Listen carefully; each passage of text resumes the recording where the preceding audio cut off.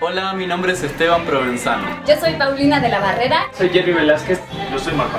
Ah, soy Patricia Caloca y soy la Flavia. Hola, soy Mauricio Salas y soy parte del ensamble de los Locos Adams.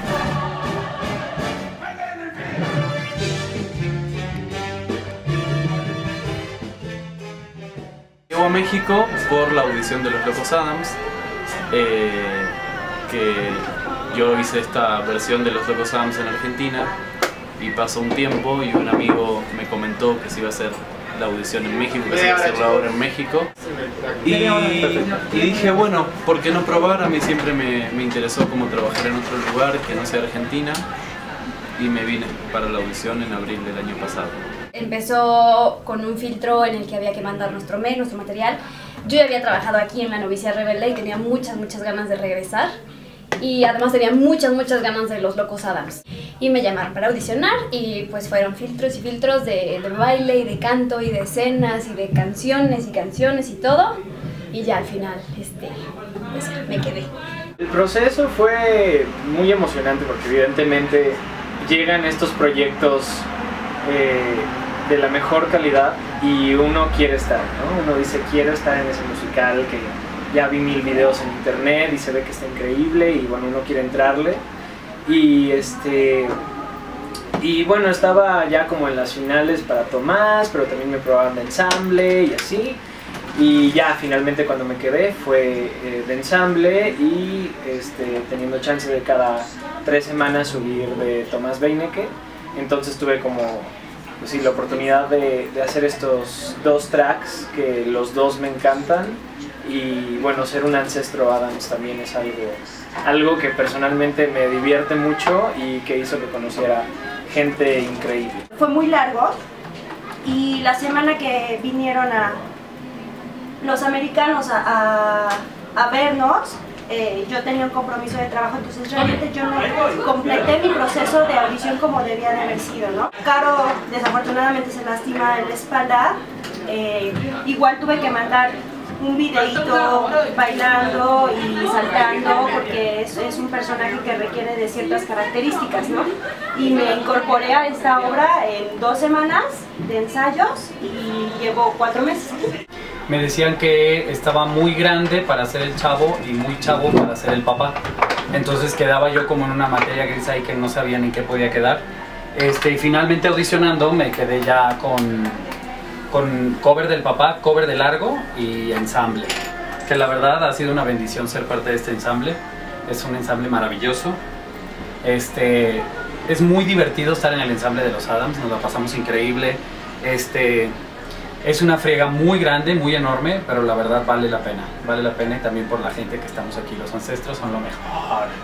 Me hablaron en particular como para un track que ya existía de la obra eh, que era ensamble desde un principio me dijeron, oye, nos gustaría que vinieras a seleccionar para este papel. Eh, yo la verdad es que al principio dije, híjole, ensamble, no sé qué, pero la verdad es que me gusta mucho la obra, me gusta trabajar en teatro insurgentes y lo que más me animó fue como la gente que estaba conformando la, la compañía. Hairspray, luego hice Si nos dejan, hice bueno, no es un musical, pero es ópera prima rock, que es este show tributo a Queen, que está buenísimo.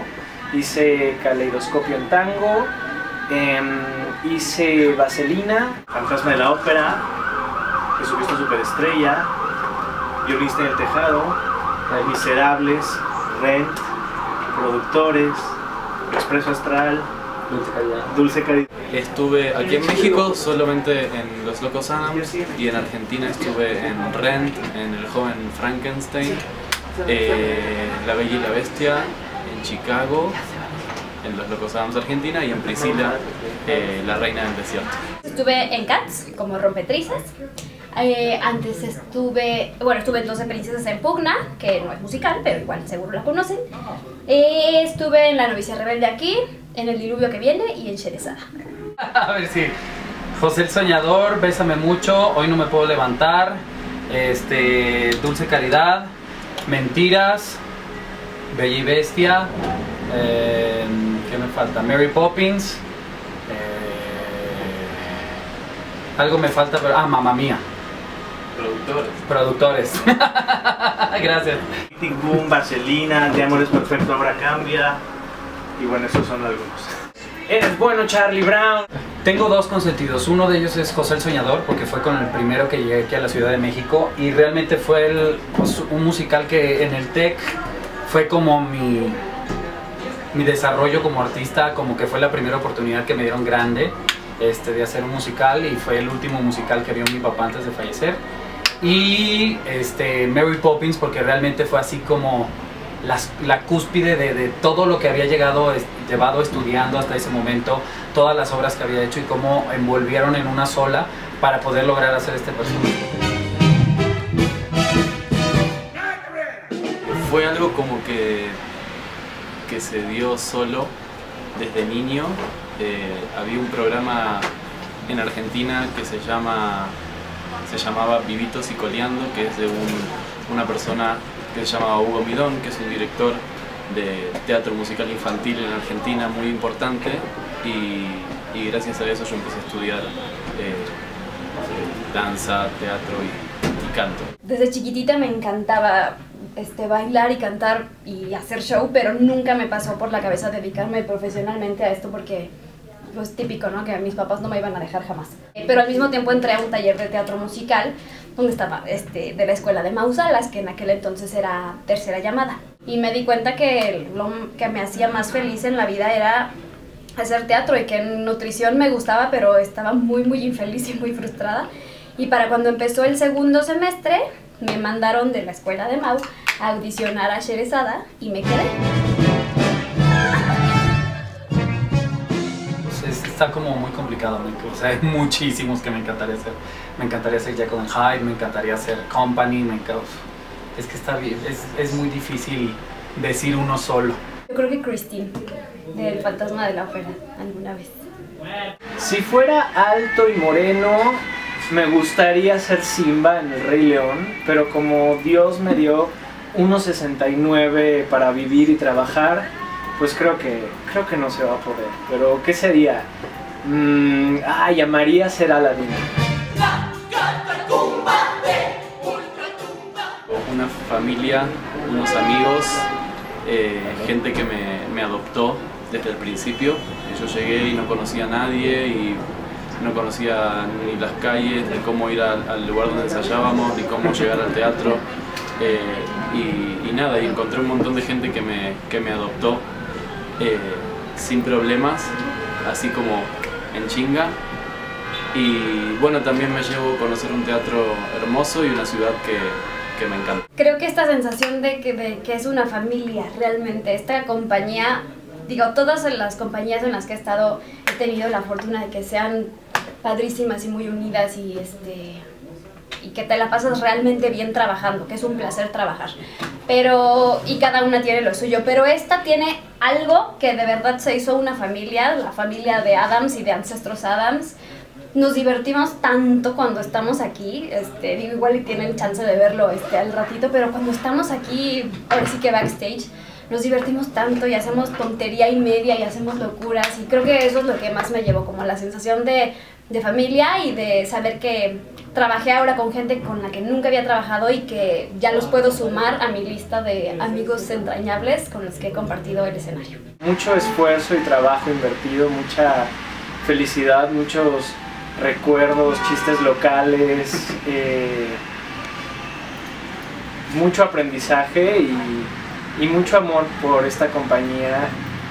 Creo que nunca me había sentido tan, no sé, tan feliz de venir cada semana a trabajar y estar en un ambiente tan relajado, tan padre.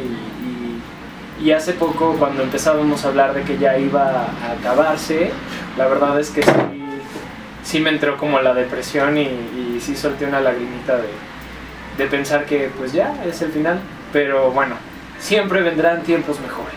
Yo creo que los actores nunca dejamos de aprender. Yo creo que aprendí que las cosas buenas y las mejores cosas de la vida duran muy poco y hay que valorarlas y hay que valorar cada segundo de las cosas que, que hacemos y que tenemos entre nuestras manos porque no sabemos cuánto pueden durar.